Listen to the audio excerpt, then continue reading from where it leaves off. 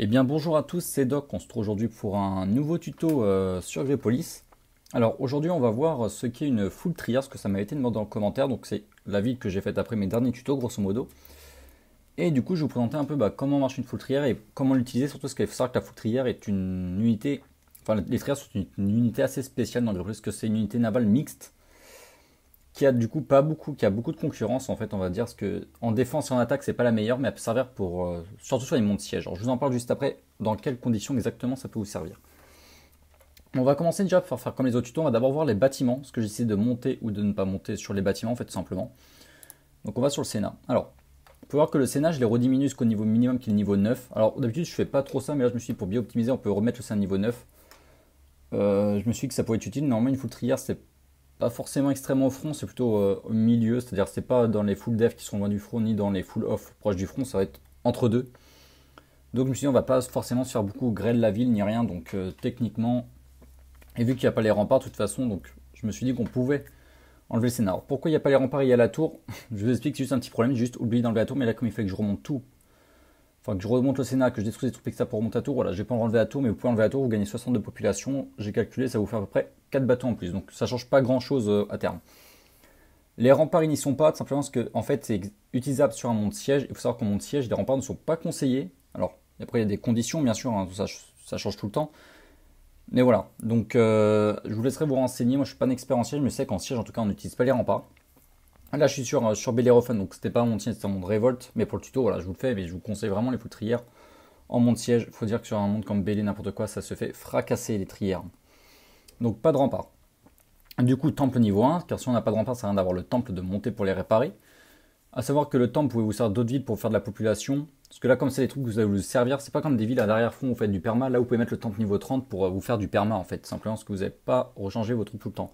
Mais là, quand vous êtes au front, vos troupes vont beaucoup servir, donc vous avez besoin d'avoir le maximum de troupes possible. Donc je vous conseille de mettre un temple niveau 1, enfin au front, pas tout à fait au front, mais vous m'avez compris.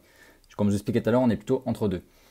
Euh, caserne niveau 1, tout simplement parce qu'on n'a absolument pas besoin d'avoir des troupes terrestres. Académie niveau 30 pour avoir les festivals. Euh, ensuite, les niveaux d'au-dessus, ça rapportera pas assez. Au pire, vous pouvez faire les recherches puis réduire l'académie. C'était pas bien grave. J'ai mis le marché niveau 1.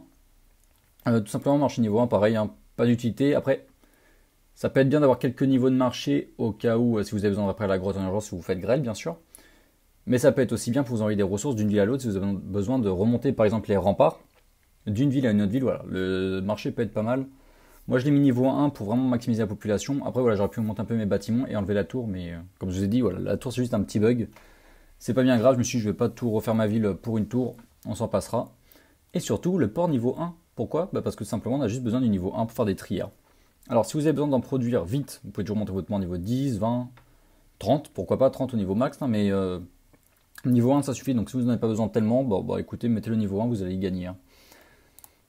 Euh, ensuite, on va passer aux recherches. Alors, niveau des recherches, c'est un peu n'importe quoi. Il y en a beaucoup qui sont là, qui ne devraient pas être là. C'est surtout que la ville que j'ai récupérée, avait déjà les recherches, donc je me suis dit, je ne vais pas non plus tout virer. Voilà, j'ai pris celle qui m'intéressait. Là où je vous conseille, bah, bien sûr, ça va être euh, tout ce qui est trière. La charrue, pour avoir de la population supplémentaire, très important. La cartographie qui augmente la vitesse de votre flotte.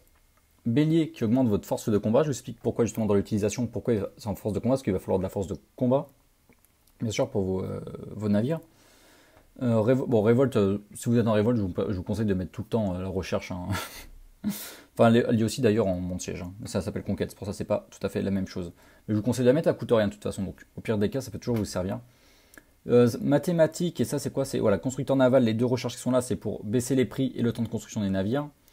Donc ça, je vous conseille de les mettre aussi. Et après, niveau recherche, on a à peu près fait le tour. Vous pouvez toujours mettre bien sûr les trucs d'espionnage, euh, qui est le deuxième, il est où? Il est là. Bah, il n'y est pas par exemple sur cette ville. Mais voilà, vous pouvez aussi mettre les trucs d'espionnage par exemple.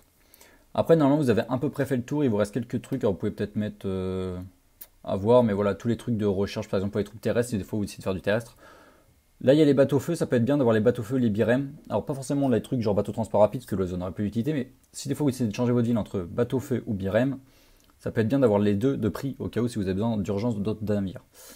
Pour ma part, moi, euh, sur Bélé, quand j'en ai pas besoin, ça va sûrement passer sur un autre type de navire. Mais ça va sûrement pas rester trière très longtemps. Je pense une fois que je les aurai flingués quelque part, euh, ça finira à la poubelle, tout simplement. Hop, et du coup, comme je vous disais, pour le port c'est niveau 1, on va voir le temps de construction qui est un petit peu long. Alors, je vais juste déployer ça parce qu'on va regarder un truc après. on va voir un peu sa, sa vitesse déjà comparée. On va, on va la comparer surtout au BF et au BIREM qui sont ces deux concurrents. Donc BF qui sera les bateaux feu, donc les bateaux d'attaque, et les BIREM qui seront les bateaux de défense. Alors, à savoir que niveau rapidité déjà, les trois se tiennent à peu près. À savoir que les BIREM et les trières sont, vous voyez, hop, 30 et 30. Voilà, c'est la même, la même vitesse. À savoir que les BF par contre sont un petit peu plus lentes en attaque, mais 26. Donc franchement, pas de gros écart là-dessus. C'est vrai que la, la trière est même plutôt rapide si on fait la moyenne du coup des deux. Et, voilà, et dans la moyenne haute. Par contre, si on regarde, c'est là que ça va commencer à fâcher, si on regarde les points d'attaque, vous voyez, 250 pour 16 en points d'attaque, alors que les BF sont à 200 pour 10. C'est-à-dire qu'ils ont une moyenne de 20 points d'attaque par population, alors que les trières, si on regarde, ils sont pas, sont pas autant, je dirais qu'ils sont vers 12-13. Euh, oui, à peine. Oui, voilà, ils, sont, être vers peut-être 12-13 contre 20, voilà. Donc vous voyez qu'en attaque, c'est vrai que j'ai pas calculé, j'ai juste vu de tête, je me suis dit ça suffira, on n'est pas, pas au calcul près, juste pour déjà vous prouver que enfin vous me démontrez en tout cas que c'est niveau point d'attaque, vous voyez que c'est pas c'est pas suffisant. Elle a beaucoup trop de population pour, les, ses points d'attaque, en tout cas par rapport au BF. Donc elle est moins bonne. Elle est plus rapide, mais moins bonne que la BF en attaque. A contrario, si on regarde pour la. Enfin, a contrario, non, du coup, ça va être la même chose.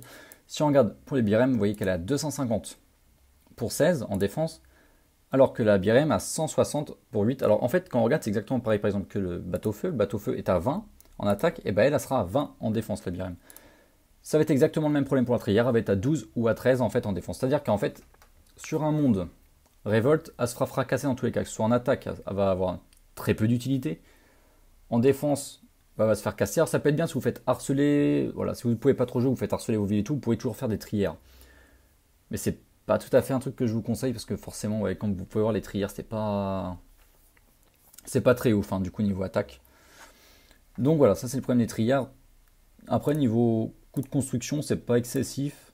Enfin, savoir que ça coûte quand même beaucoup de pièces comparé aux autres, mais euh, sinon, ouais, ça me paraît pas, ça me paraît pas si excessif par contre. Mais voilà, savoir que du coup les full triers ne peuvent ni vous servir en off ni en attaque en révolte. Mais c'est là qu'on va passer au monde siège. Alors moi je ne suis pas sur siège, hein, je suis toujours en mode, euh, en mode révolte sur Bélé, que c'est mon monde principal, c'est celui que je joue principalement. Mais du coup, si on regarde par exemple sur un monde euh, qu'on va dire un monde siège du coup, comme par exemple, je sais pas, euh, je sais pas, j'en connais pas, peut-être Achille, je crois que oui, Achille c'est un monde siège, voilà. Du coup, par exemple, sur Achille, ben, en fait, vous pouvez vous en servir, par exemple, si ça peut vous servir, parce que, ah, c'est compliqué à expliquer, mais je sais ce que je veux dire. En gros, par exemple, pour un siège, il faut savoir que vous le savez forcément, si vous jouez en siège, il faut attaquer la ville, détruire les troupes ennemies et ensuite tenir le siège. Alors, par exemple, là, vous pouvez mettre par exemple un bateau de colo avec à peine quelques troupes terrestres pour prendre la ville et maintenir le port, en fait, ce que peut vous servir en défense, en attaque.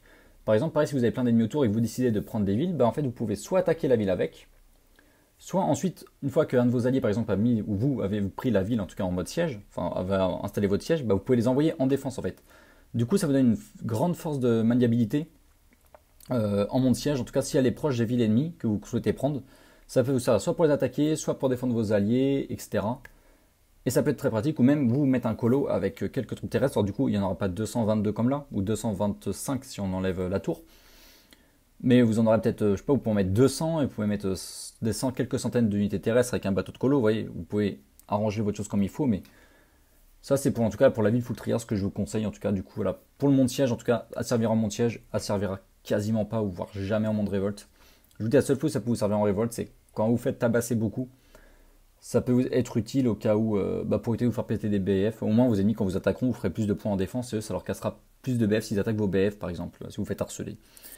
Enfin voilà, du coup, c'était un peu euh, ma petite vidéo euh, sur la full comme ça m'a été demandé. J'espère que ça vous aura plu, que ça aura répondu à vos questions.